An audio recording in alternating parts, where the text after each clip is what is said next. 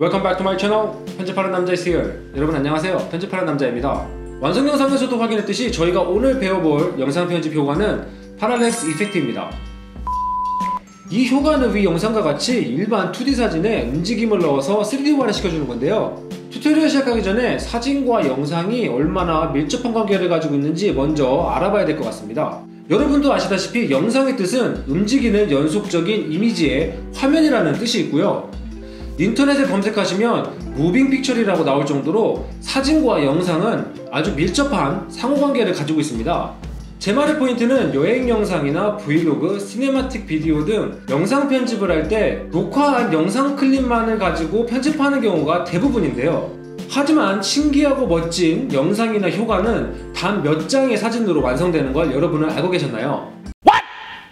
위 영상과 같은 효과들은요 애프터 이펙트나 시네마 4D 같은 전문 프로그램이 아닌 사진 편집 작업만으로 완성된 효과들입니다. 그럼 사진 한 장만으로 완성되는 오늘의 tutorial을 시작해 보도록 하겠습니다. 저희는 이제 포토샵에 들어가 있습니다. 편집할 사진을 불러와 주시고요. 배경과 모델을 분리하기 위해서 간단한 마스킹 작업을 해보도록 하겠습니다. 여기 보이시는 quick selection tool을 클릭하시고요. 모델 주위에 마스킹 작업을 해주도록 하겠습니다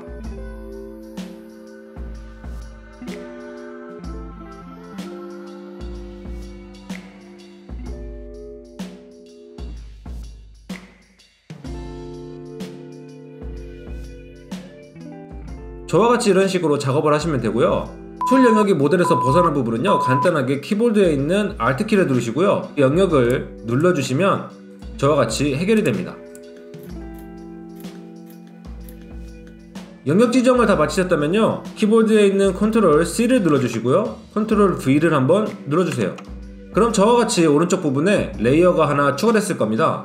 이제 background layer를 비활성화 시켜주시면요 저희가 선택한 영역 외 나머지 부분이 전부 다 안 보이게 됩니다. 이 layer 1을 비활성화 시켜주시고요. select을 누르시고요. reselect을 눌러주세요. 그리고 에딧에 가셔서 fill을 눌러주시고요. 저와 같이 컨텐츠에서 content aware를 눌러주시고 확인을 눌러주세요. 그리고 다시 select에 가셔서요. deselect를 눌러주세요.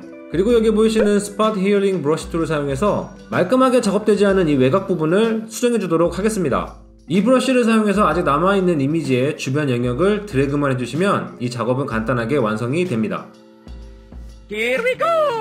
그리고 layer 1의 이미지를 활성화시켜 주시고요. 지금까지 작업한 사진을 PSD로 저장해 주세요. 이제 After Effect를 켜시고요. 저희가 저장했던 PSD 파일을 넣어주시면 저와 같은 화면이 나오는데요. 이 화면에서 저와 같이 import kind를 composition retain layer size로 바꿔주시고요. 아래 보이시는 layer 옵션에서 merge layer style into footage를 눌러주시고 확인을 눌러주세요. 그리고 새로운 composition을 만들기 위해서요. 저희가 수정했던 파일을 이쪽으로 드래그해서 옮겨주시면 composition이 활성화됩니다 저와같이 이런 식으로 composition을 만들어 주시면 이 이미지 파일의 사이즈대로 composition이 활성화되는데요.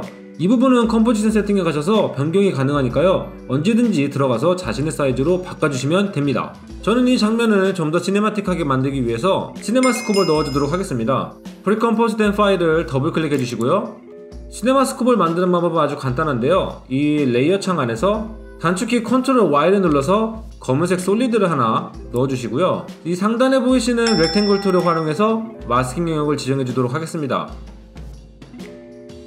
그리고 왼쪽에 보시면 생성된 마스크 1의 이 부분 invert를 클릭해 주시면 저와 같이 cinema scope을 간단하게 만들 수 있습니다 이제 저희가 할 마지막 작업은요 애니메이션입니다. 이 움직이지 않았던 2D 이미지에 애니메이션을 넣어서 움직임이 있는 3D 이미지화를 시켜보도록 하겠습니다. 두 번째 layer를 클릭하시고 S를 눌러주시면 저와 같이 스케일 창이 나오게 되는데요. 애니메이션을 활성화하기 위해서 이 indicator를 맨 앞쪽으로 드래그 해주시고요. 이 스케일의 스탑워치를 클릭해주세요. 그리고 indicator를 맨 마지막으로 드래그 해주시고 스케일 값을 120으로 올려주세요 그리고 이번엔 P를 누르셔서 포지션에도 애니메이션을 추가해 보도록 하겠습니다. 다시 indicator를 앞으로 가져가 주시고요. 포지션에 스탑워치를 누르시고 indicator를 맨 뒤로 옮겨 주신 후 저와 같이 드래그를 통해서 모델에 움직임을 넣어 주세요.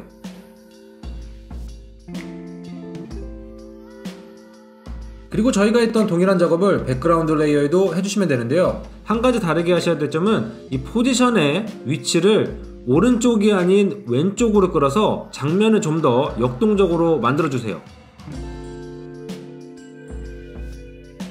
여러분도 할 수 있어요. 아, 정말 쉬워요. 지금까지 잘 따라와 주셨고요. 저희의 작업은 이제 거의 다 끝났습니다. 계속합시다. 내가 만약 이 장면에 좀 더 효과를 넣어주고 싶으시다면요 3D 레이어의 체크박스를 활성화시켜서요 저와 같이 Y축 로테이션 값에 keyframe을 넣어서 화면을 좀 더 역동적으로 만들어줄 수 있고요 이제 마지막으로 adjustment layer를 넣어주시고 color grading 해주시면 이 효과는 쉽게 완성이 됩니다.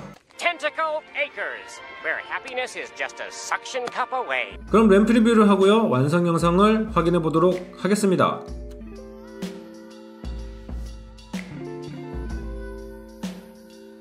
제가 준비한 오늘의 영상 편집팀은 여기까지입니다. 제 영상이 마음에 드셨다면 구독과 좋아요 눌러주시고요. 저희 채널에서는 다음 최고의 1분 영상의 모델을 찾고 있습니다. 내가 만약 스토리가 있거나 저와 함께 영상 작업을 해보고 싶으시다면 이 영상 아래 댓글을 남겨주시거나 이메일을 보내주시고요. 그럼 저는 다음 시간에 좀 더 좋은 영상 편집 팁을 가지고 돌아오도록 하겠습니다. 즐거운 편집하세요.